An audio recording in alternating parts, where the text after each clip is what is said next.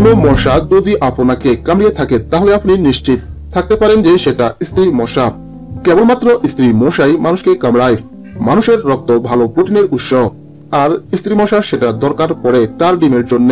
আর পুরুষ মশারা আপনার চারপাশে থেকে আপনাকে ব্যতি ব্যস্ত রাখবে, যাতে স্ত্রী মশাটি নির্বিঘ্নে রক্ত শুষে নিতে পারে। একটি মশা ঘন্টায় প্রায় এক থেকে দেড় মাইল বেগে উড়ে যেতে সক্ষম। শুনে চমকাবার কিছু নেই। অন্যান্য কীট পতঙ্গের গতির চেয়ে এই গতি আমরি তেমন কিছু না। তুলনামূলক অনেক কমই বলা যেতে পারে। মশার প্রায় তিন হাজার পাঁচশো প্রজাতি আছে। এর মধ্যে অল্প কিছু প্রজাতি কেবল মানুষ সহ অন্যান্য স্তন্যপায়ী প্রাণীকে কামড়ায়। বাকিরা নির্ভর করে ফুলের মধুর ওপর।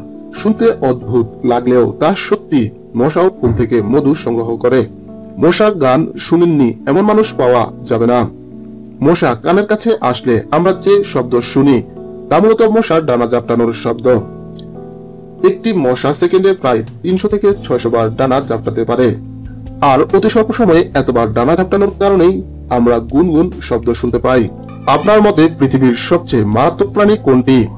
উত্তর, যদি হয়ে থাকে মশা ছাড়া অন্য কিছু, তাহলে নিঃসন্দেহে ধরে নিতে পারেন যে আপনার ধারণা ভুল। পৃথিবীর সবচাইতে মারাত্মক প্রাণী মশা। প্রতি বছর মশার কারণে ম্যালেরিয়া, ডেঙ্গু সহ নানাবিধ রোগে আক্রান্ত হয়ে প্রায় দুই মিলিয়নেরও বেশি মানুষ মারা যায়। অনেক মশাই আছে যারা শিকার হিসেবে মানুষ ভিন্ন অন্য কোনো প্রাণীকে নির্বাচন করে, সেটা পাখিও হতে পারে। মশার যে স্থানে কামড়ায়, সেই স্থান ফুলে যায় এবং অপেক্ষাকৃত লাল হয়ে যায়। মানুষের নিজস্ব প্রতিরোধক ব্যবস্থা আছে।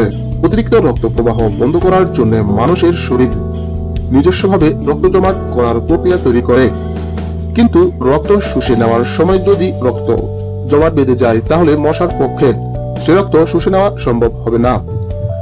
সেজন্য মশার স্যালাইভা নামে এক জাতীয় প্রোটিন প্রবেশ করিয়ে দেয় মানুষের শরীরে, যা কিনা রক্তের জমে যাওয়ার প্রতিরোধ করে।